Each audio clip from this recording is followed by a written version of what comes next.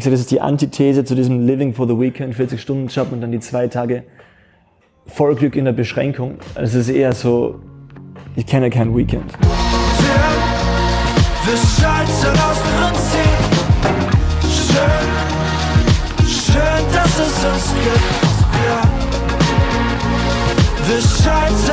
Prinzip. Schön, schön, Die lange Geschichte, wie wir wirklich zur Musik gekommen sind, ist, dass mein Bruder recht früh begonnen hat, äh, sich mit Hip-Hop zu beschäftigen und über irgendwelche Internetforen so in dieses Rap-Battle-Ding reingekommen ist. Genau, also nicht nur Battle, es war dann auch viel so Beat produzieren und halt auch rumschicken und denken, es wird was, aber das war halt irgendwie noch sehr viel Kinderzimmerproduktion.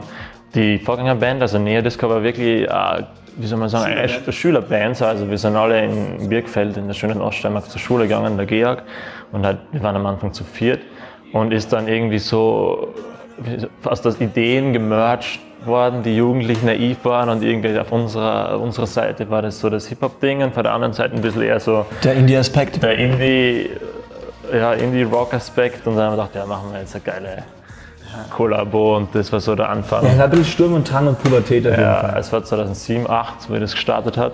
Aber wir sind halt dann irgendwann draufgekommen, dass wir uns musikalisch in eine Richtung entwickeln, die nicht mehr zu dieser alten Band passt, also die ah. nicht mehr zu Neo-Disco, wie die Band geheißen hat, passt. Und dann haben wir uns dagegen entschieden, unter dem alten Namen weiter Musik zu machen. Haben wir uns gedacht, die Fans, es waren ja da schon einige damals, die wir über die Jahre irgendwie gewonnen haben mit eben diesem Party-Ding und Halligalli und sehr auf Konfrontation und Provokation irgendwie, also immer mit einem zwinkernden Auge, aber doch der Kurs, die wird man dann jetzt quasi mit EP und EP immer mehr vom Kopf stoßen und dass sie sagen, ja, was macht sie jetzt? Und das, irgendwie nochmal, das ist auch wirklich der hundertprozentige Bruch und neue Band und von Null starten.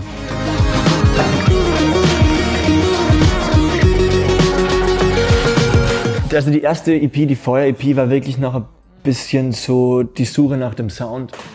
Da haben wir schon ein Jahr dran wirklich herumgetüftelt, wie es jetzt überhaupt klingen soll irgendwie schon getüftelt und viel verworfen, aber ich würde sagen, da haben wir uns nicht so intensiv mit Musik beschäftigt wie jetzt oder im letzten Jahr, weil das war eben so, eine Band haben wir beendet, ja, machen wir was Neues und jetzt nicht konsequent daran gearbeitet, sondern einmal. Es war ein reines Demo verarbeiten und dann bündeln in einer EP. Und die erste wirkliche Juno-EP, so mit dem neuen Sound, so strukturierter, war dann die König und Land EP. Wir wollen schon gewissermaßen collagenhaft, fast so irgendwie Schichten.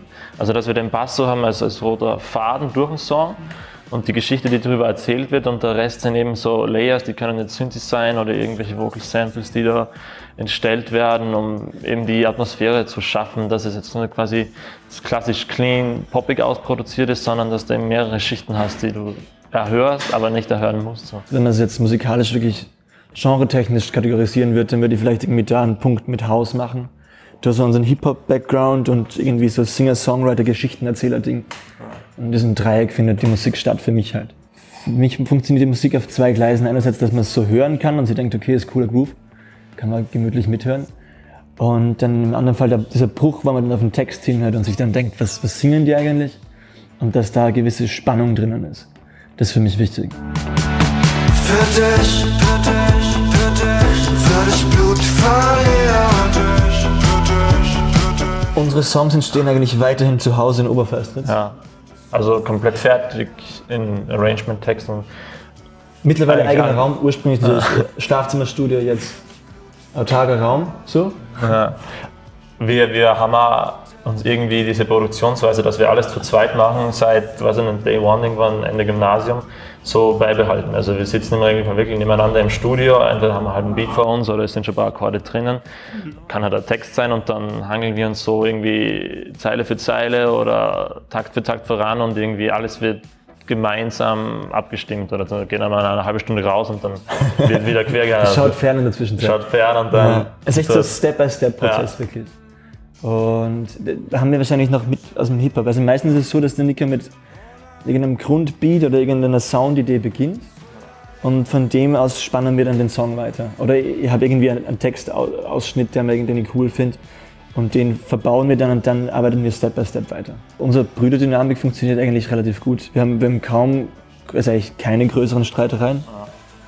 Ich glaube, es ist einfach deshalb so, weil wir einfach den genau gleichen Erfahrungshorizont haben und eigentlich musikalisch das Gleiche wollen. Also über kreative Entscheidungen gibt es eigentlich nie Diskussion.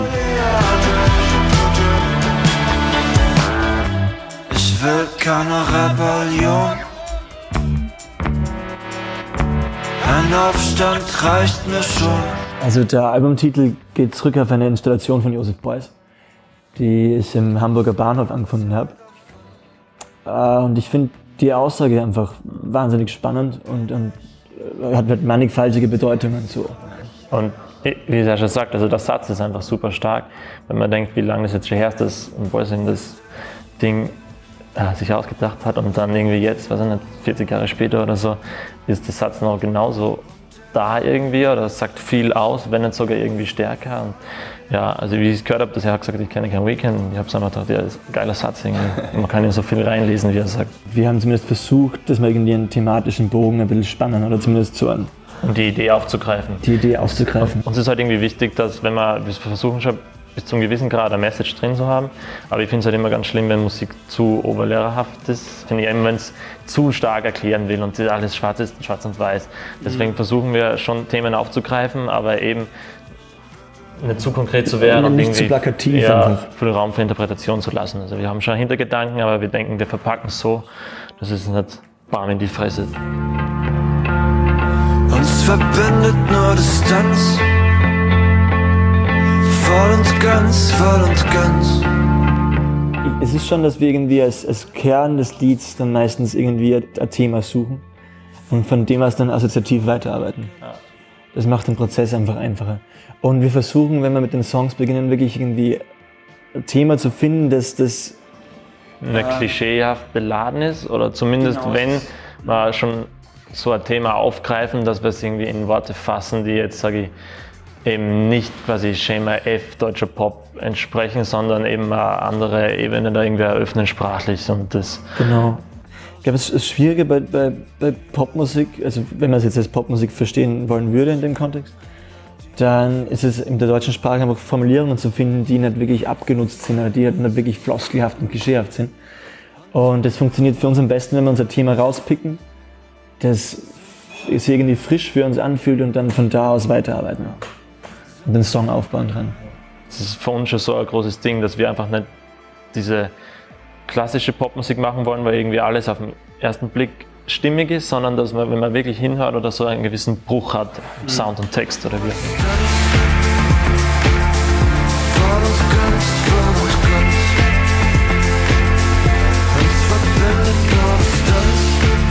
Wir versuchen immer äh, irgendwie das, das Zeitgeistige und das, das Traditionelle irgendwie zu, zu fusionieren oder keine Ahnung, vielleicht durch unseren äh, ländlichen Hintergrund und dass der Nick jetzt in Wien wohnt und äh, das ist diesen Bruch da irgendwie in der Musik stattfinden zu lassen. wir nehmen viel wahr so medial und wir diskutieren halt wahnsinnig viel, was uns halt popkulturell oder politisch und so irgendwie dazu fließt auf den diversen Medienkanälen und äh, das zieht sich dann halt in die Musik rein. Also vielleicht sehr eklektisch der Ansatz oder so. Wir versuchen halt von überall Dinge herzunehmen, sei es jetzt visuell oder die Idee gesellschaftlich und das dann irgendwie in unserer Musik dann so zu konzentrieren, Ja, unter einen Hut runter. äh, einen großen Runter Hut drauf zu setzen.